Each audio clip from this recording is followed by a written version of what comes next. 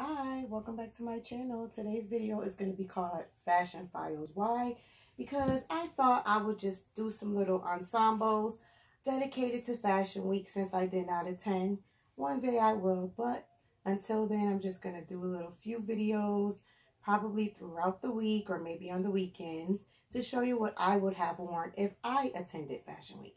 So we're going to just start off with my outfit. I have these cute cat eye glasses. They're black and white like my outfit.